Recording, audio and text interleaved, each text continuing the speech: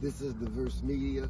We are reporting a huge fire in New Orleans East. On the other side of Chef Highway in New Orleans East, breaking footage, drone footage, coming to you guys from Daverse Media.